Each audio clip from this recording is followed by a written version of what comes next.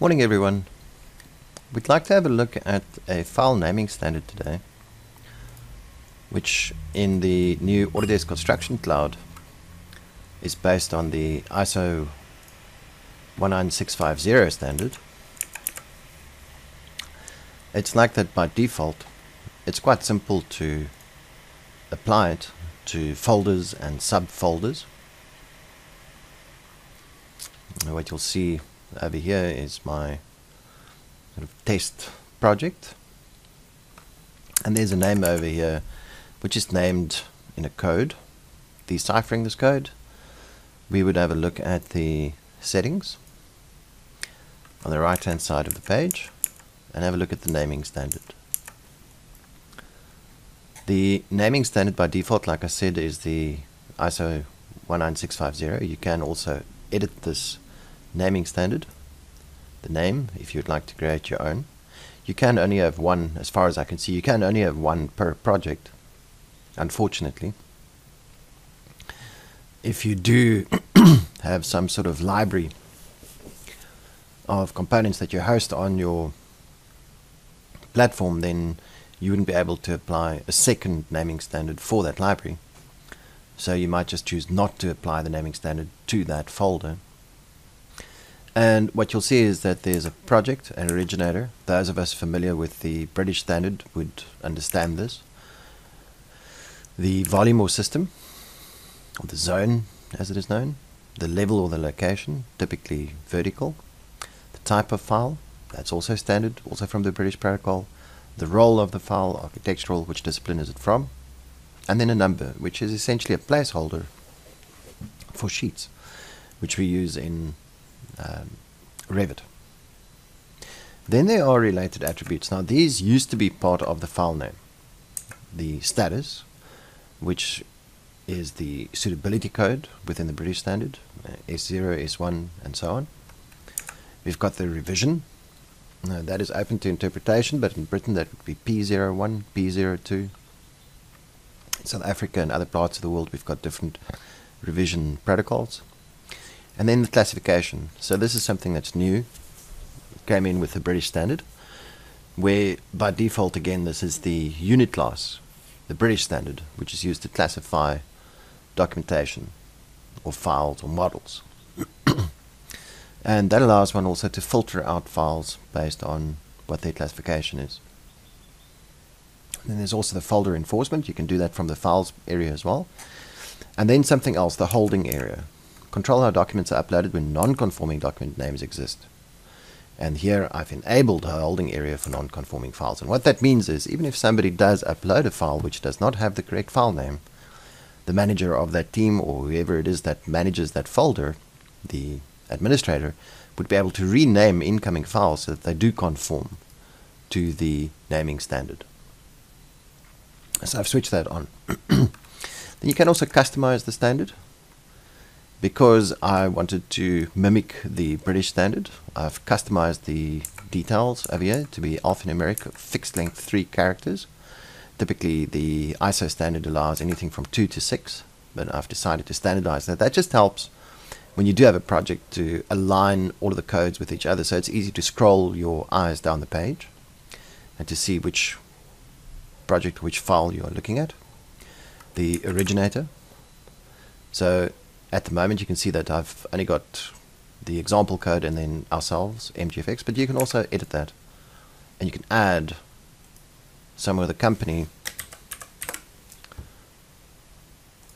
and there you can add the value, excuse me, ARC.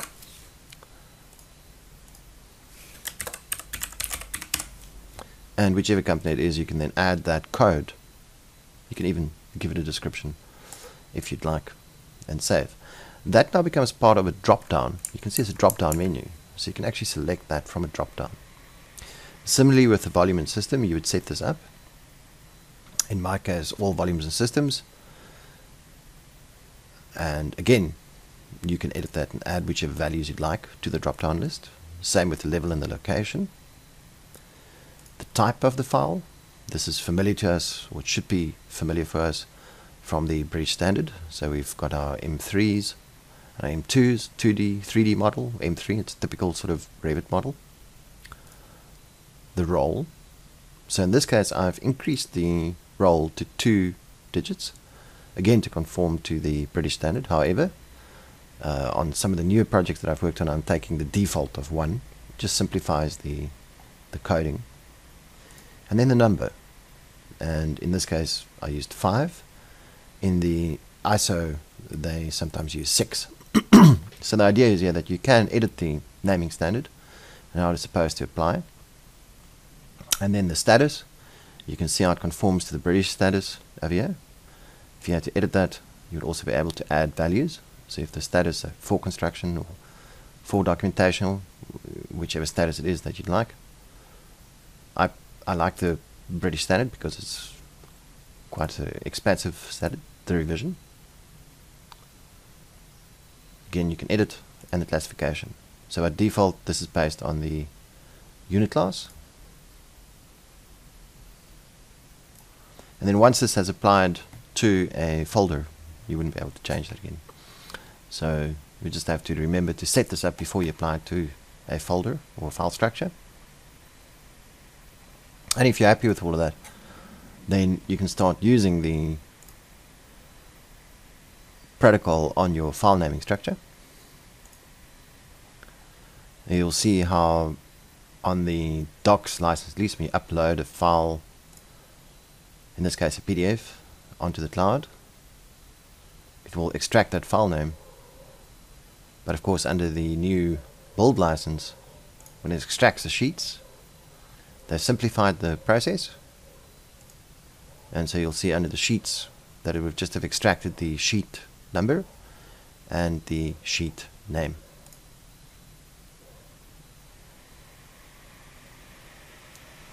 So it extracts those from that PDF file and names it based on the sheet number and below that you can see the sheet name. going back to the docs folder having a look at one specific file. In the collaboration folder I've got the architectural model open in my Revit.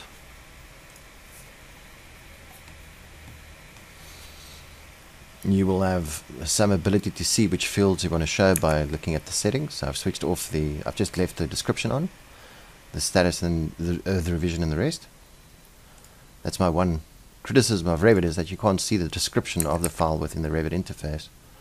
So if you do work with files that are code-based and you don't immediately know what it is, I would suggest that you have the documents page open on a web browser and you your Revit at the same time.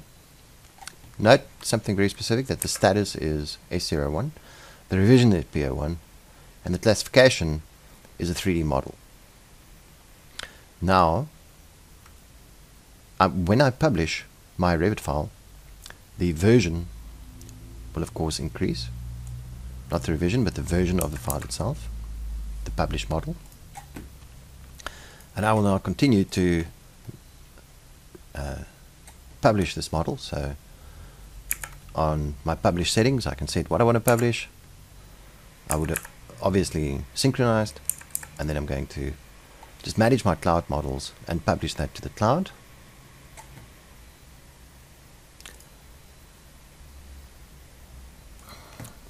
We're going to publish the architectural file, which is the AX file there.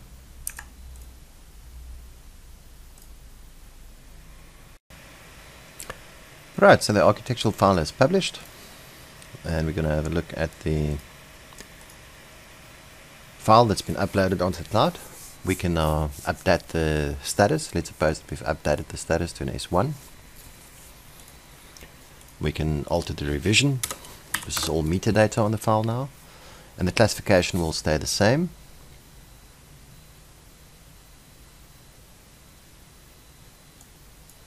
And let's see what happens to the version if we slip the version back. Let's see what happens to the status and the revision. So on the version, on the version history, we're going to go back to version 3.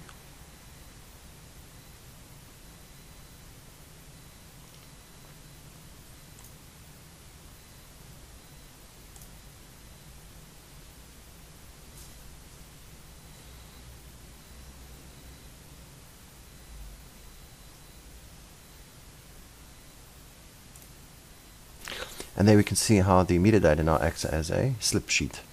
So it's taken S1 back to S0.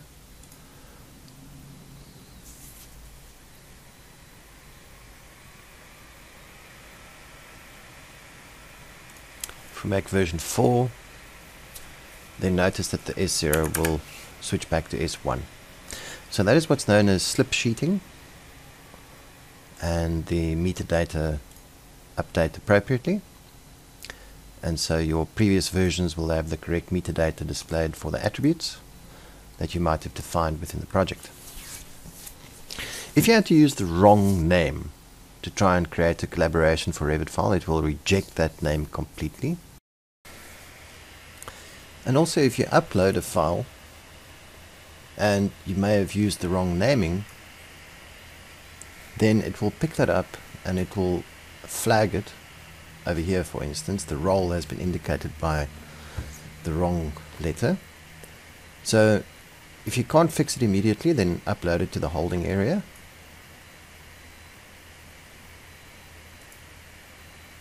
And after you've uploaded it to the holding area you can now go and either modify your naming standard to include something like the role where you could go and add another role. In this case, because two characters were used to, to define the role of the architect, we just have to switch it out to the A. But you can go and add whatever information is necessary to your naming standard to accommodate that file. And so we can ultimately just see that we can go back to the holding area, the document manager basically, open that folder and correct the file. The last thing to do is also then to add the status, the revision, and the classification.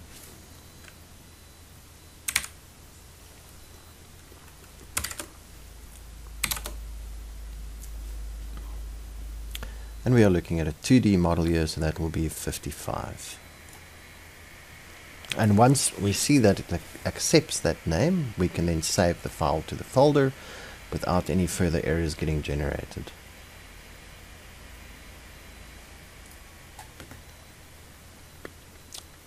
There we can see the file is uploaded. And then lastly, we would add some description.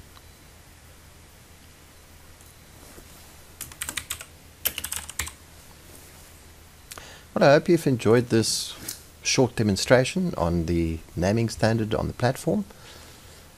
And remember, if you have any questions or you need assistance, please contact Micrographics so that we can assist you with that. Thank you and enjoy your week. Bye.